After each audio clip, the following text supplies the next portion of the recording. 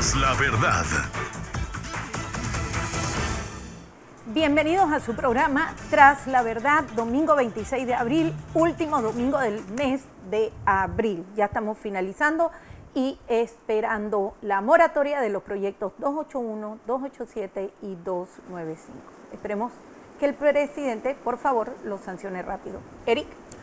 Muy buenas amigos de Tras la Verdad, una vez más con ustedes, trayéndoles las noticias más relevantes y les pido y les agradezco a todos ustedes televidentes por la sintonía que tienen con el programa Tras la Verdad, porque vamos a seguir aquí desde este, de esta trinchera luchando contra ese gran enemigo que es el coronavirus. ¿No es así?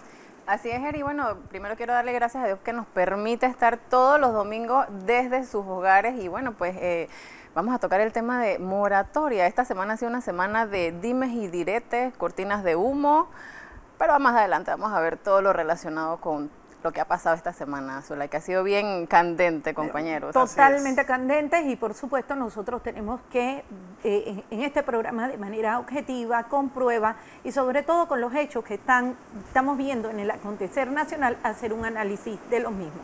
¿Qué preocupa a los panameños? ¿Qué preocupa a los pequeños y medianos empresarios? ¿Qué preocupa a la clase humilde trabajadora y sobre todo la clase media y, todas las empresas en Panamá en este momento que no hay empleo y que las facturas siguen llegando? Y sobre todo que todavía no se ha firmado esta moratoria. Pero, ¿qué dice la gente? ¿Quién le habla al presidente de la República? ¿Quién es su mesa consultiva? ¿Quién es el grupo económico?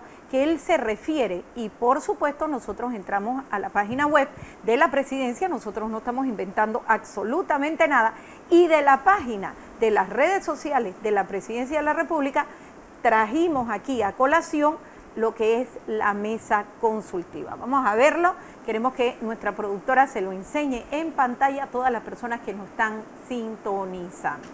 Eh, son personas que son de grupos económicos, Aquí está Jorge Luis Quijano, el encargado de la ampliación del canal de Panamá, donde se señalan que empezó de 3 mil y quedó costando 9 mil millones y los 6 mil millones nadie supo qué pasó. y tiene altos cuestionamientos por negocios que supuestamente hizo, hizo su hijo con eh, el tema de los astilleros, no sé si recuerdan, este, astilleros Armor. Astilleros y las lanchas. Y las lanchas de, que se vendieron. Así que Mire, yo eh, siento... pero vamos a ver, mesa consultiva, vamos a ver los demás, porque no solamente está Jorge Luis Quijano, una persona que ahora quieren poner eh, como jefe de la Junta Directiva del Metro de Panamá, está Giovanni Ferrari, Carlos Mota, Nicolás González Revilla, Samuel Lewis, Aristide Rollo, Alberto Alemán Subieta, también relacionado con la ampliación del, canal, de Panamá. Carlos Mota es el hijo de Stanley Mota, que maneja el tema de Copa y lo que son eh, Banco General. De empresas. Montones de empresas, ¿no? Todas las empresas en que está involucrado este grupo Mota. Aristides Rollo, que fue embajador y también eh, presidente de la República en alguna ocasión, pero que tiene también altos cuestionamientos. Yo creo que... Jorge de la Guardia, se te olvida. Jorge de la Guardia, Jorge de la Guardia. Nicolás González Revilla, bueno, estos Jorge de la Guardia no está relacionado con el CONEP. ¿O es del CONEP? También es del CONEP. O sea, todas estas figuras, yo quiero hacer un análisis de la colocación del presidente como figura, eh, eh mesa consultiva económica, y son referentes del país, personas que han sido altamente cuestionadas por temas, por distintos temas de enriquecimiento en forma eh, inadecuada, en enriquecimiento por monopolio, en, en tráfico de influencias con el Estado, en utilizar los, eh, sus influencias para lograr sus objetivos, en cargos públicos donde también han sido cuestionados. Proyectos con sobrecosto. Con sobrecosto. Señor presidente, la mesa consultiva económica debió estar un poco más balanceada. Más balanceada. es que la mesa económica no solo son los ricos de este país, la mesa económica también son la clase trabajadora, los obreros, también son los profesionales, los empleados públicos, también componen el, eh, o conforman la mesa o la, o la economía de este país, la economía informal, el hombre humilde de a pie, el campesino, el agricultor, los políticos. Esta mesa debió ser más balanceada para que las decisiones fueran más balanceadas, porque entonces lo que nosotros vamos a entender es que las decisiones que va a tomar esta mesa consultiva o las recomendaciones que va a dar van a ser en beneficio, lógicamente y naturalmente en beneficio de sus intereses. Totalmente, Eri, estoy de acuerdo con lo que menciona Eri, y definitivamente esta mesa consultiva está... Eh, compuesta por personas que tienen sus empresas, obviamente ellos van a, todas las decisiones que tomen va a ser en base a los mejores beneficios para ellos, porque al final no van a, no van a pensar en, la clase obrera. Esa mesa consultiva debió haber, estado más, eh, debió haber sido más ecuánime, debió haber estado representada por los, el, sector transporte, el sector agropecuario, o sea, infinidad de gente que debió conformar esta, mesa, ejecutiva económica. Y también quiero decir, señor presidente, con mucho respeto que se merece, porque yo sé que la responsabilidad que pesa sobre su, hombro, sobre su hombro es muy grande con toda esta crisis económica, no solo durante el proceso de, la superación de este virus, sino para posteriormente poder levantar la economía del país y salvar los números y ponerlos en, blanco y negro va a, ser, va a ser muy difícil y va a tomar meses, si no es que años, recuperar la economía del país, del mundo en general. Pero no solo la responsabilidad, sino que, señor presidente, yo pienso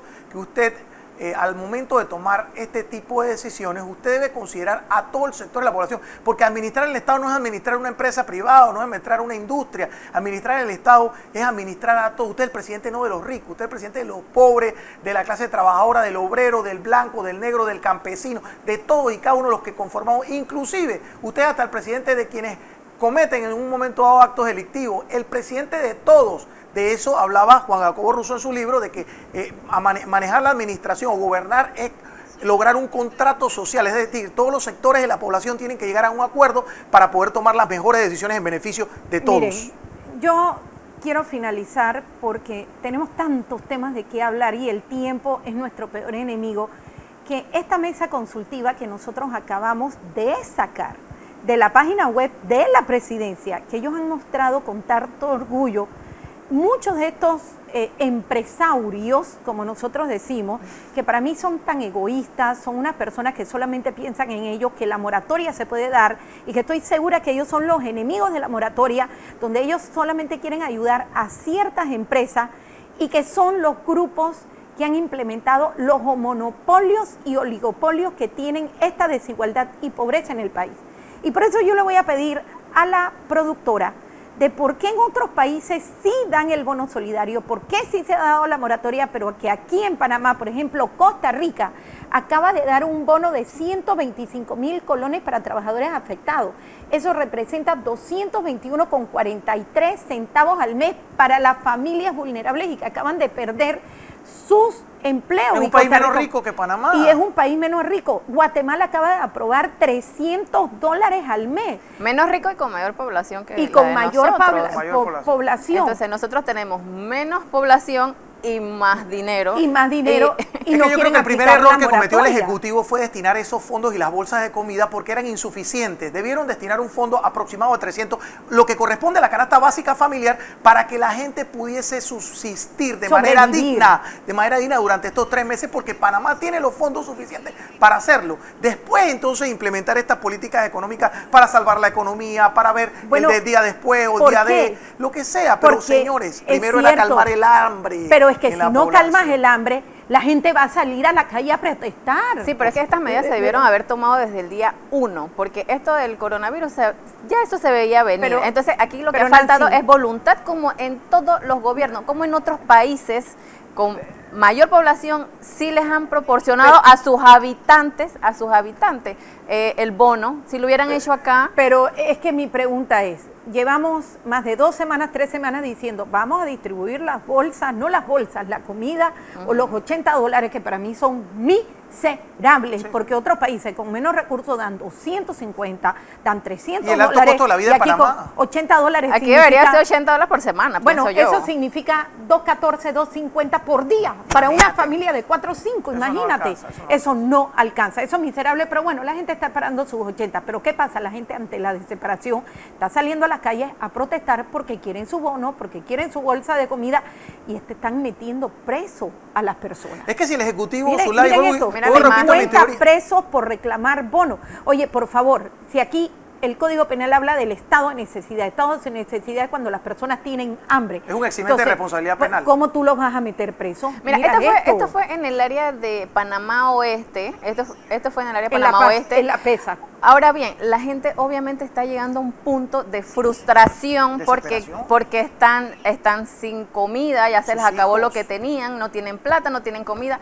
Entonces, no solamente eso, sino es que ven pasar por sus narices las bolsas y los bonos a la, que los, que los dirigentes le dan a los que ellos le conviene, porque lo han utilizado para temas políticos. Es que la decisión, aquí no, es que la decisión de distribución en manos de los, de los gobiernos locales creo que fue errática. El presidente debió utilizar otro sistema de distribución para distribuir este tipo de, ayuda o estos subsidios. No tenía que hacer con la, gente más satanizada. La pregunta son políticos gestos. La pregunta es, y el presidente, en base a todo lo que ustedes están diciendo, cuando él señaló en su conferencia de prensa, yo tengo mucha fe y sobre todo creo en mi grupo económico.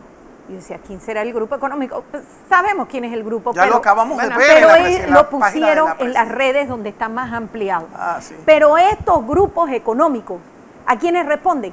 Son los que están en este momento realizando los monopolios y oligopolios sobre la comida, sobre los medicamentos, sobre la luz eléctrica, sobre el transporte y por eso tenemos los precios más caros del mundo. Oye, desde 1996. ¿Por qué? Porque es como tú decías, Nancy, como decía Eric y como sabe toda la población, ¿para quién ellos van a buscar estas políticas económicas? Para ellos, pero no para la población. Mira, desde 1996 aquí se reguló las prácticas monopolísticas y los factores y, se habló de los, de los actores económicos que debían ser sancionados con aquel aquella ley, la ley 29 de 1996, en su artículo 12, que había que, los factores económicos o los actores económicos que hicieran prácticas monopolísticas tenían que ser sancionados. De hecho, eso tiene hasta una sanción penal. ¿Cuándo tú has visto que en Panamá estos, estos empresarios que tienen prácticas monopolísticas que encarecen el costo de todo, por la está prohibido por la ley, ¿cuándo han sido procesados penalmente? Además, yo le pediría a la Asamblea de Diputados que eliminen este artículo del Código Penal, el artículo 379, que no se aplica porque aquí a nadie juzgan, a nadie procesan por prácticas monopolísticas y aquí todo el mundo lo hace.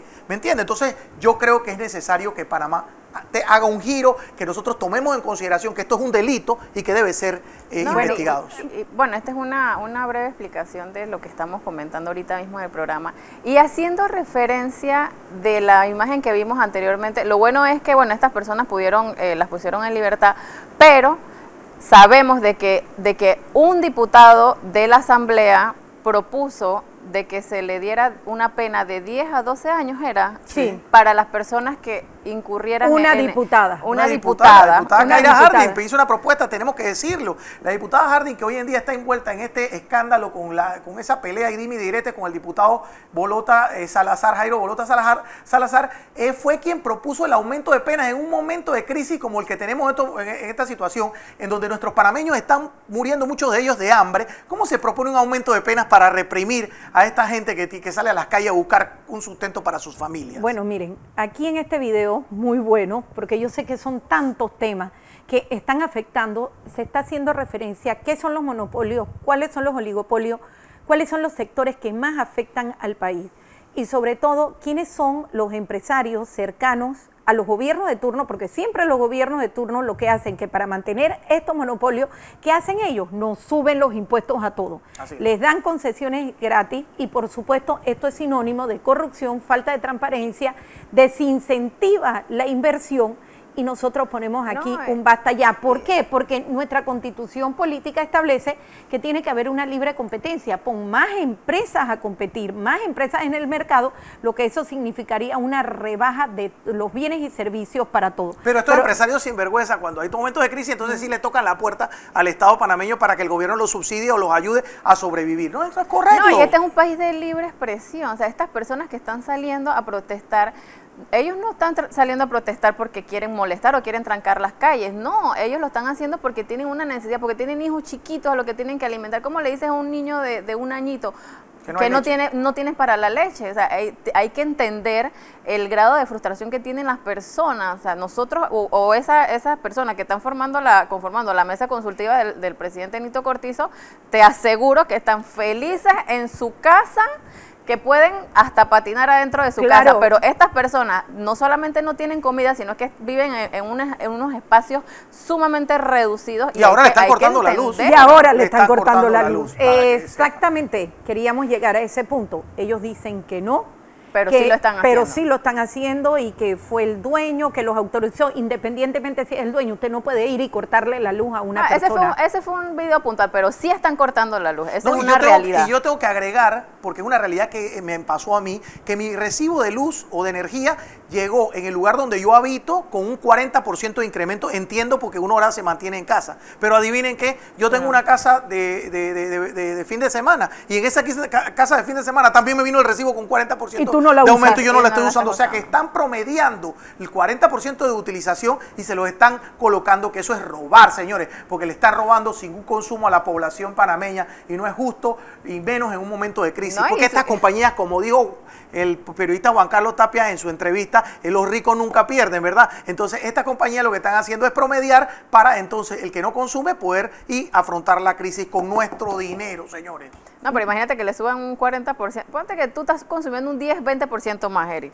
Y te, te suben a eso 10, 20% más. Imagínate, multiplícalo por toda la población. Porque Ese es mucho dinero. Porque los medidores de luz, ellos no los están leyendo, como tú señalas, Eric, ellos están inventando, promediando. Ellos dirán, bueno, como la gente está eh, encerrada en su casa, ahora tienen que consumir más, un 20, 25%, te aumentan y quiere decir que realmente la moratoria para el sector de los servicios básicos nunca se aplicó. No se aplicó y además le voy a decir a la gente, siguen llegando la factura. Ni, en Navidad yo creo que les llegaba el tan alto. Revisen sus consumos porque le están colocando cantidades que no corresponden a la realidad. Revisen su consumo, pongan sus quejas y si hay que poner denuncias penales porque nos están hurtando de una manera irregular, de una manera descarada entonces hay que arremeter contra esta Indistintamente que sea un dólar, dos dólares, no importa, hay que poner las denuncias, tienen que hacerlo, porque cada dólar representa a esas empresas eh, millonarias mucho, mucho dinero. no, y tú sabes qué es lo que me molesta, que una de estas empresas, Naturgy, sí dio la moratoria en España por seis meses. Porque lo obligó el Estado. Porque el Estado los obligó, porque había una ley, porque había una resolución. Pero aquí, como nosotros tenemos que estar supeditados a la buena fe y a la buena voluntad, que no lo van a hacer, porque ya vimos quiénes son parte de esa mesa consultiva, ellos que van a decir, yo no voy a perder ni un solo real. Y no pierden. Pero ¿sabes qué? Nosotros estamos haciendo sacrificio y la gente se está quedando en su casa y la gente les han suspendido los contratos. La gente no puede salir y ganarse el día a día y la gente tiene hambre, pero, ellos no quieren hacer pero sacrificio. Pero es que Nancy, ¿tú crees que esos señores de la mesa consultiva que son accionistas de esa misma empresa, que son las que, tienen monopolio y que acaba, acaban con el pueblo, eh, con los altos precios y los controles y, subiendo el, consumo, ¿tú crees que ellos van a bregar o van a recomendar algo en en perjuicio de sus propios intereses. Por eso, no va a pasar. Ellos son los que no quieren la moratoria. Pero, señores, nos tenemos que ir a un, cambio, comercial, y, seguimos. Viene el segundo segmento. No nos cambien. Sintonícenlo. Pronto regresamos con Tras la Verdad.